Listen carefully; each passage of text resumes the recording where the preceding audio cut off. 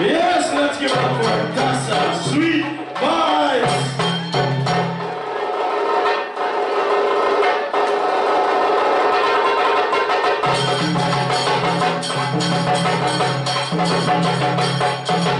Thank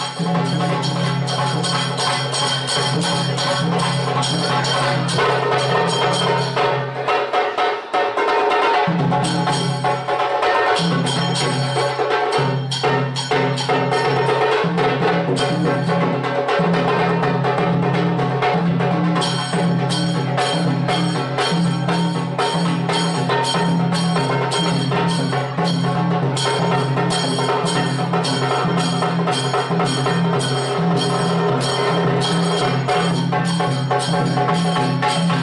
you.